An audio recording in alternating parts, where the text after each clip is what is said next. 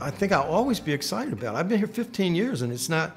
I mean, every day uh, is is a new chapter. It, it does change, and uh, and and you can't just see Jamestown once. You got to keep coming back. Passion, I think, is is is commitment and um, knowing that uh, if we if we equate it to to an activity, knowing that this is what you what you want to do. You know it's important. It's significant in making a contribution. And I feel like all that comes together at Jamestown for me.